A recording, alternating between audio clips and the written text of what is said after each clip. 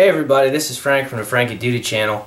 I'm here to bring you a video today that's got me kind of excited. This is uh, my five-year update review on the Ruger GP100. So here's my, my blued steel version, gun's clear, that you may have seen in my original desktop review a few years ago. And then here's a stainless version that my dad bought once he started to shoot mine and he kind of fell in love with it.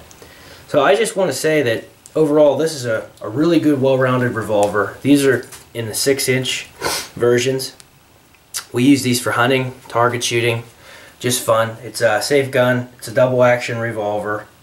They run for about 600 to $700 brand new. Ruger makes guns in the United States. I think there's something to be said about that. Uh, this this is my this is my favorite revolver that I own. The only revolver that I know of I like more than this is a Colt Python. So I mean that's saying something. This is a this is a nice well-built gun. And and hands down, I personally think that you know this is a gun that I'll pass on to my kids, and I'd recommend buying one. I have some footage over the past few years that I've accumulated that I'd like you guys to watch. If you're interested, it's it's some shooting, seeing these guns in action.